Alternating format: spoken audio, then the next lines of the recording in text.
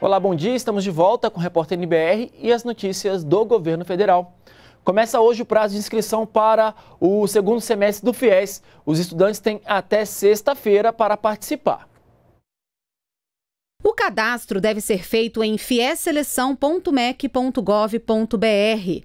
E antes de se inscrever, o estudante pode consultar as instituições e os cursos ofertados.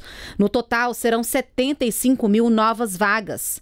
Podem pedir o financiamento estudantes que tenham participado do Enem com média igual ou superior a 450 pontos e nota na redação superior a zero. O candidato também precisa ter renda familiar mensal bruta per capita de até três salários mínimos.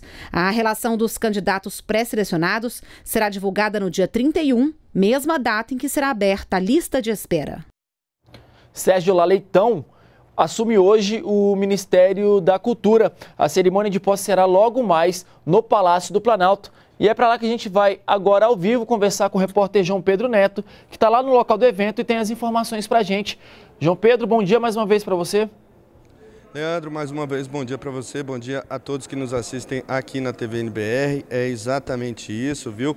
É jornalista de formação, o atual diretor da Ancine, Agência Nacional do Cinema, Sérgio Sá Leitão, ele tem reconhecido a atuação aí na área cultural e, além do trabalho na iniciativa privada, ele também tem passagens por diversos órgãos públicos, inclusive pelo próprio Ministério da Cultura, onde coordenou aí projetos, programas e políticas públicas. Sérgio Sá Leitão também foi secretário municipal de Cultura do Rio de Janeiro e toma posse, então, hoje, daqui a pouco, uma cerimônia está marcada para as 11 horas da manhã aqui no Palácio do Planalto. Ele vai ser empossado pelo presidente Michel Temer, que o indicou indicou para o cargo na semana passada.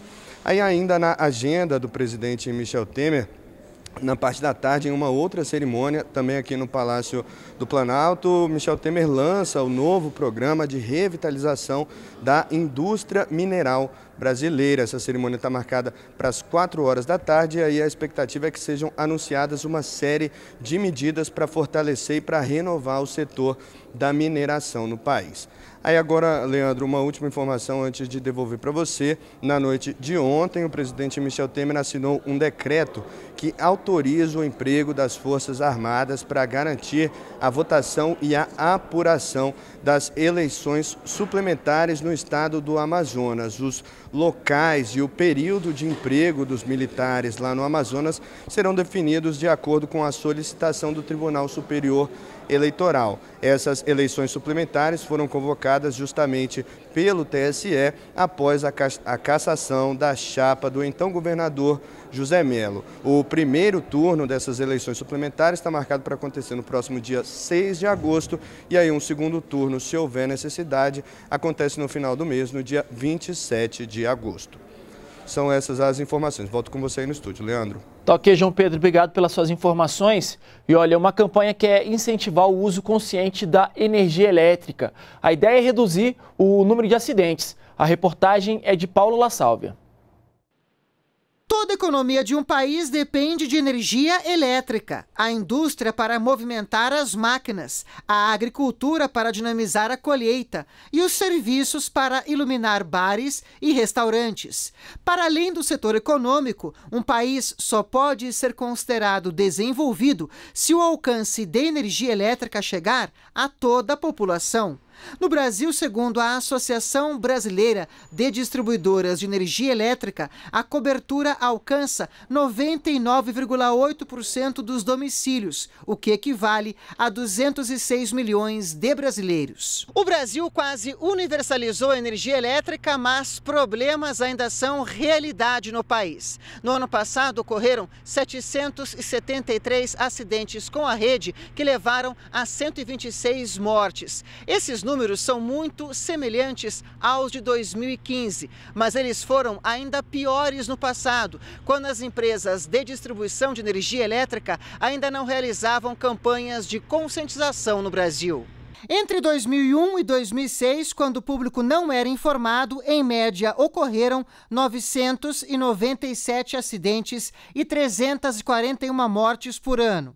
Já entre o fim de 2006, quando ocorreu a primeira campanha nacional, e 2016, foram em média 836 acidentes, com 297 mortes por ano. A ANEL vê com preocupação, né, toda vez que tem uma morte, qualquer uma que seja, por causa de acidente com energia elétrica.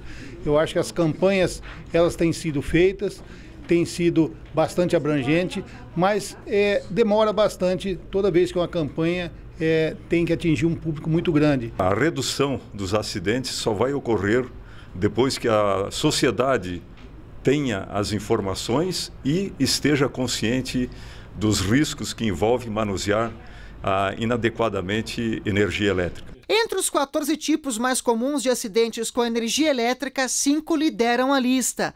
Eles ocorrem em maior intensidade na construção civil, nas ligações clandestinas, na instalação de antenas, na poda de árvores e com pipas. É por isso que a campanha deste ano, que aborda o uso consciente da energia elétrica, além de alertar para os riscos, reforça pontos como a racionalidade no consumo. Quando a pessoa não paga a conta de luz, ela é, gasta de forma irracional, ela desperdiça energia elétrica. Então, é, a primeira vertente é fazer com que as pessoas é, tenham um consumo compatível com o seu orçamento doméstico. E o repórter NBR fica por aqui. Voltamos a qualquer momento com outras informações ou em uma hora na nossa próxima edição. Você pode rever as reportagens no YouTube. Toda a nossa programação está disponível na nossa página na internet. Um bom dia para você e continue com a gente aqui na NBR, a TV do Governo Federal.